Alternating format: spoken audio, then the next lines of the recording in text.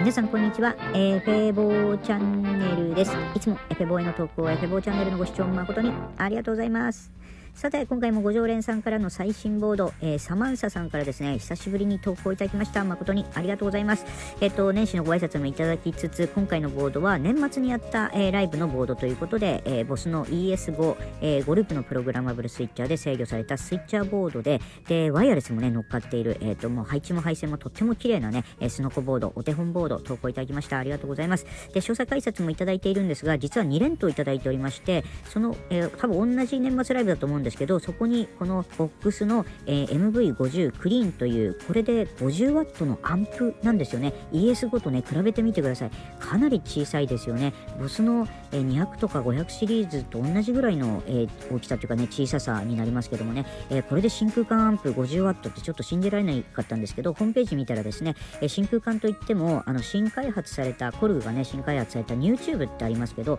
えそちらを採用したことによってかなり小型になったっていうことなんですよね。サマンサさんも書かれて、えー、おりますように、えー、コスパもよく小さいのに音もよく、え、っと音量もしっかり出ますと。何よりめちゃくちゃ軽い。いいですね。軽いのはいいですね、えということでおそらくですけど、えライブ会場の、えギターアンプをそのまま使わずに多分キャビだけ使ってアンプヘッドとしてこの MV50 クリーンを使ってるんじゃないかなと。でそこに、えっとこの、えスイッチャーボードをつないでいるんじゃないかなと思うんですけどその辺もねまた次回教えていただきたいなと思います、えちなみにねこの、えっとシリーズはクリーンと AC AC とロックということで、まあ、あまり歪まない、まあ、クリーンのタイプと、それから AC はまクランチ的にまでは歪む。それからロックの方はディストーション的にかなり歪むというですね、3種類が出ておりまして、で特にクリーンの方はブライアン・メイ、あのクイーンのブライアン・メイの、えーと、シグネチャーモデルも出てるということでですね、えーとまあ、この大きさで 50W のアンプ、えー、ということでですね、これは、えー、ちょっと使えるなと思ってですね、皆様方、えー、改めて注目いただきたいなと思います。エフェボでも投稿初めて